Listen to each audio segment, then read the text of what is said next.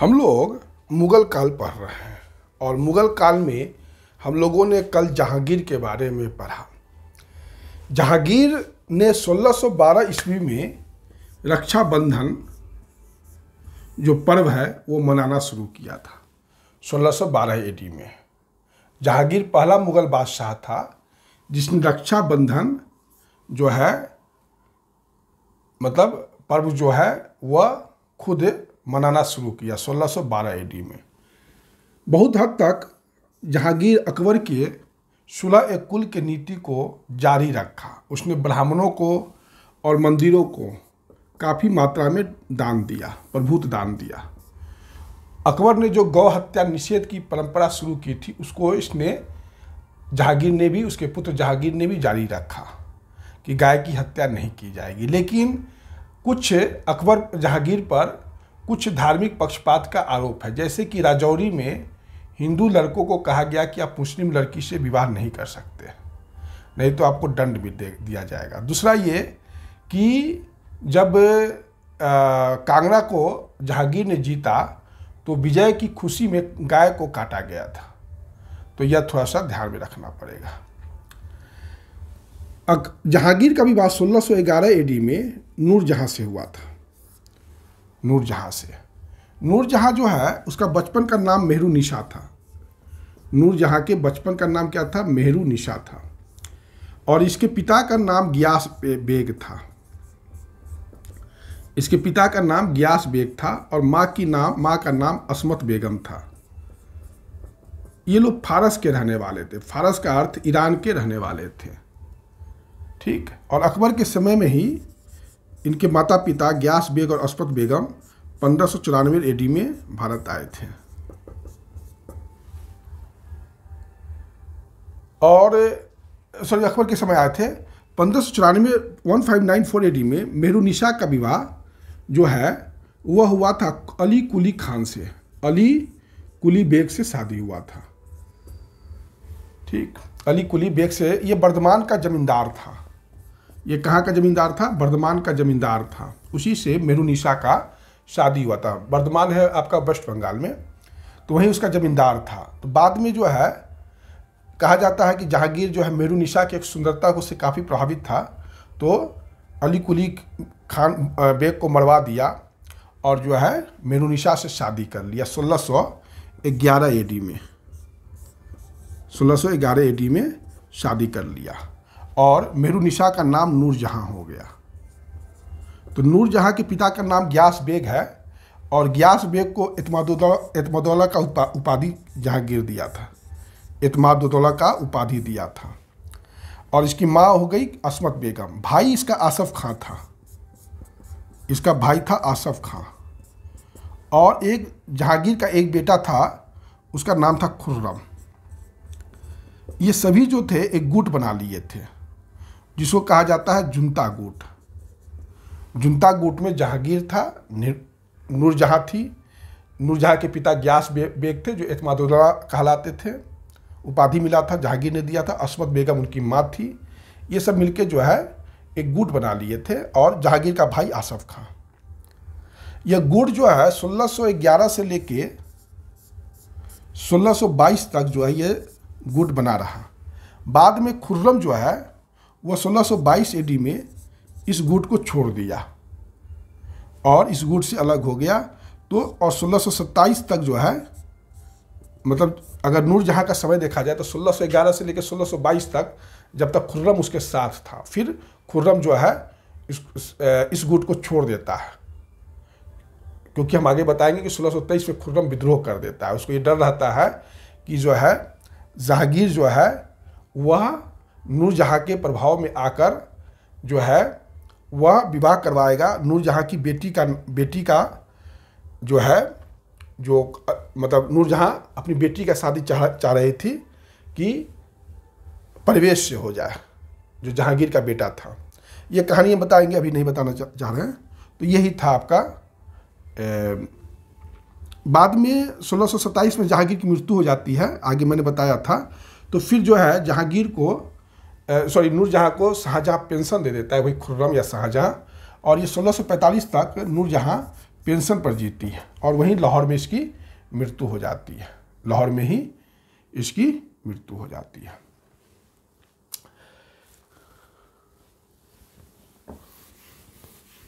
नूर, देखिए, जहांगीर का पहला विवाह हुआ था, आमेर की, आमेर का राजा था भगवान दास।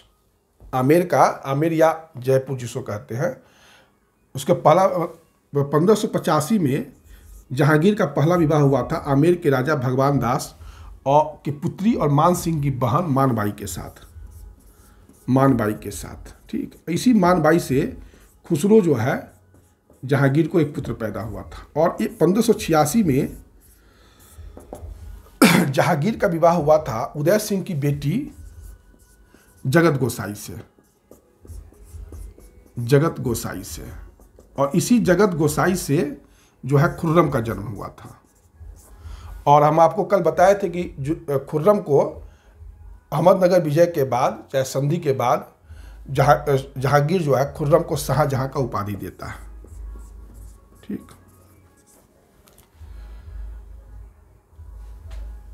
जहांगीर जो है 1605 एडी में आगरा के किला में इसका राज्याभिषेक किया जाता है। जहांगीर का 1605 एडी में आगरा के किला में इसका राज्याभिषेक किया जाता है। नाम रखा जाता है जहांगीर का नूरुद्दीन मोहम्मद नूरुद्दीन मोहम्मद जहांगीर बादशाह गाजी, नूरुद्दीन मोहम्मद जहांगीर बादशाह गाजी। इस नाम से वो लाहौर में अपना राज्याभिषेक करवाता है। और चूँकि यह अबुल फजल का हत्या करवाया था तो वीर सिंह देव बुंदेला के ही मारा था उसको, और जहांगीरी करने पर तो काफ़ी ऊँचा पद दिया था।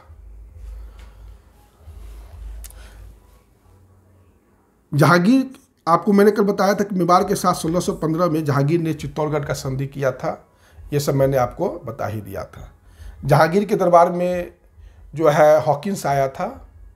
जो कंपनी का प्रतिनिधि था, उसको जहांगीर ने इंग्लिश खां का उपाधि दिया था और एक आर्मेनियाई स्त्री से उसका विवाह करवा दिया था, हॉकिंस का।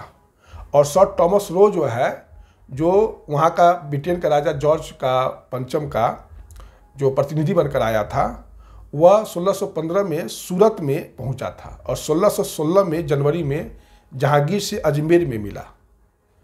और जहांगीर के साथ वो मांडू भी घूमा, अहमदनगर भी, अहमदाबाद भी घूमा और अजमेर घूमा।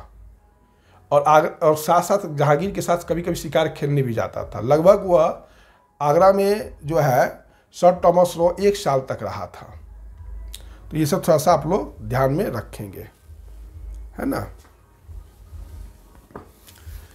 जहांगीर ने मनसबदारी, जो अकबर ने मनसबदारी व्यवस्था शुरू किया था तो उस मनसबदारी व्यवस्था हम बताएँगे, लेकिन इतना समझिए कि मनसबदारी व्यवस्था में था, दो चीज़ था, अकबर ने शुरू किया तो उसमें जात और सवार था।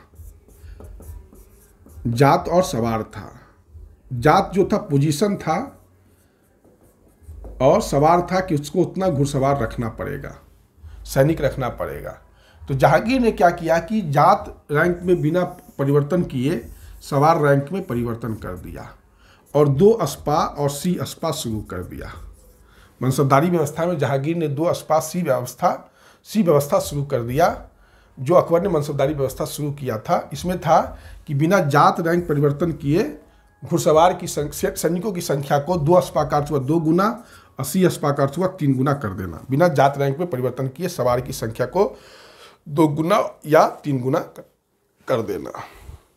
जहांगीर के समय में ब्रिटेन से सर टॉमस रो भी आए थे, हॉकिंस भी आए थे। लेकिन डच एक यात्री आया था, उसका नाम था फ्रांसिस्को पेलसॉट डच का रहने वाला था। डच का अर्थ हुआ डेनमार्क, फ्रांसिस्को पेलसाट ये डच यात्री था, जहांगीर के दरबार में आया था। और जहांगीर के बारे में बहुत सारा वर्णन लिख छोड़ा है। इसने किताब लिखा, रिमांस ट्रेटी। रिमांस ट्रेटी करके किताब लिखा है। फ्रांसिस्को पेलसर्ट ने उसमें जहांगीर के बारे में बहुत सारा वर्णन दिया है। जहांगीर के समय में चित्रकला अपनी पराकाष्ठा पर पहुँच गया था। और जहांगीर ने ही जो है सबसे पहले पहले चित्रकला जो था, हस्तलिखित ग्रंथ में छुपा हस्तलिखित हस्तलिखित ग्रंथ में रहता था। लेकिन जहांगीर ने उसको हस्तलिखित ग्रंथ से मुक्त करके उसको मुक्त कला बनाया, स्वतंत्र कला बनाया। और जहांगीर के दरबार में उस्ताद मंसूर और अबुल हसन, ये दो महत्वपूर्ण चित्रकार रहते थे। उस्ताद मंसूर पशु पक्षी का अच्छा चित्र बनाता था, वहीं अबुल हसन व्यक्ति का चित्र अच्छा बनाता था। उस्ताद मंसूर को नादिर उल अस्त्र का उपाधि जो है, जहांगीर ने दिया था, वहीं अबुल हसन को नादिर उल जमा का उपाधि जहांगीर ने दिया था। तो यही है आपका जहांगीर के बारे में कुछ इंपॉर्टेंट चीज़। जहांगीर के सबसे बड़े बेटे खुसरो ने 1606 में विद्रोह कर दिया था। वही खुसरो जो अकबर का शादी हुआ था मानसी की बहन मानबाई से, जो हुआ था, उससे जो पुत्र उत्पन्न हुआ था, उसका नाम था खुसरो। 1606 में सबसे बड़े बेटे खुसरो ने विद्रोह कर दिया था और इसको समर्थन दिया था सिखों के पाँचवें गुरु अर्जुन देव ने, जो कल मैंने चर्चा किया था। और 1623 में जो है, विद्रोह कर दिया था शाहजहां का बेटा खुर्रम, सॉरी, जहांगीर का बेटा खुर्रम। और बाद में 1627 में महावत खान ने विद्रोह कर दिया। 1626 में सॉरी 1626 में महावत खान ने विद्रोह कर दिया और 1623 में खुर्रम ने शाहजहां सॉरी जहांगीर के बेटे खुर्रम ने विद्रोह कर दिया। तो ये सब थोड़ा सा ध्यान में रखिएगा। पूछ सकता है कि खुर्रम ने कब विद्रोह कर दिया जहांगीर के खिलाफ? तो 1623 में।